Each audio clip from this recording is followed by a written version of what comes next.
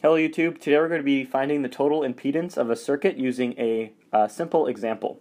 So I want you to think about what total impedance or impedance really means. Impedance is the resistance of a, a circuit.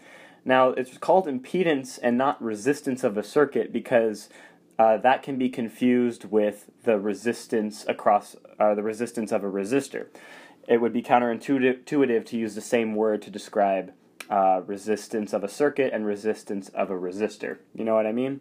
So I'll try to make that more clear in this video and show you exactly how to calculate it. Well, impedance is represented by Z. And here we're going to be finding the total impedance or the equivalent impedance for this circuit. So you know when you do your normal, um, like shortening your circuit to make it look more simple, if you're finding like the total resistance of a ton of resistors in parallel, you condense it into a simple uh, single cir- or single component circuit that looks something like this. So imagine that example above there had two resistors in parallel. You would combine it into a single resistor, right? And say, oh, that's R equivalent. Well, same thing with this circuit. Even though there's a capacitor there, you can find the impedance of the capacitor, which is kind of like the resistance of the capacitor, uh, and combine it in parallel with the resistance of the resistor. And I'm going to represent uh, the that as a box because it's not quite a resistor and it's not a capacitor either. It's not an inductor, obviously. So it has. We're just going to represent it symbolically uh, with a box there. I'm just calling it Z equivalent. So now we have our simple circuit. And look, how did we get there? Well, like we said, these two components are in parallel. Now I'm going to label this first component here Z1. So it's just the resistance of the resistor.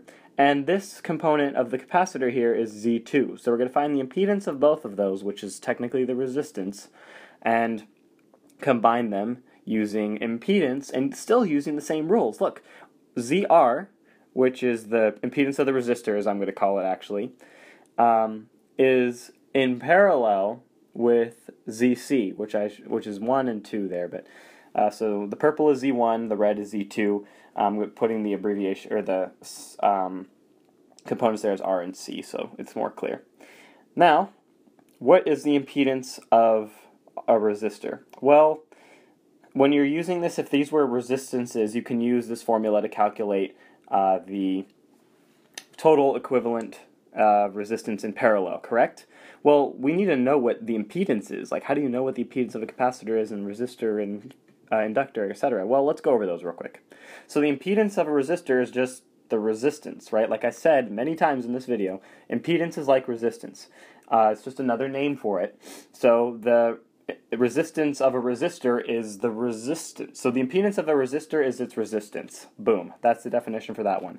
This one, the impedance of an inductor, which isn't shown here, but I'd like to show anyway, is the derivative of the inductance. P represents kind of like, it's an operator that's kind of like ddt. So the derivative of the inductance is the impedance of the inductor. Finally, we have the uh, capacitance. The impedance for capacitance is 1 over Cp. And 1 over P is kind of like the integral. Instead of P being ddt, 1 over P is like the integral um, instead. So it's just the integral of 1 over C, uh, the capacitance. And that's just the relationships. These are definitions.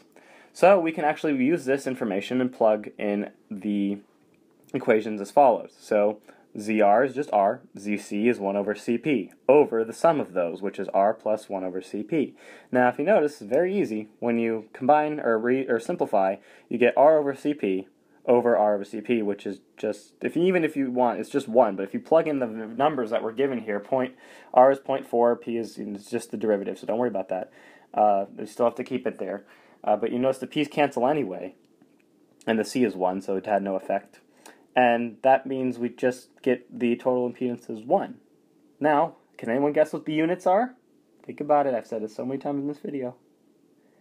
Impedance is like resistance, so therefore it has the same units, 1 ohm. So the total impedance of this circuit is 1 ohm.